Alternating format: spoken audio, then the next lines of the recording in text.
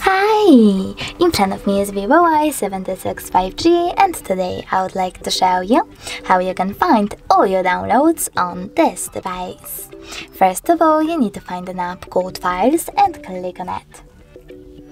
Now just allow in the pop-up, click on allow over here and tap on this switcher next to allow access to manage all files. Then click on the back button and choose browse in the middle. Lastly, click on downloads over here and as you can see all my downloaded files are over here. If you wish to access one, just tap on it.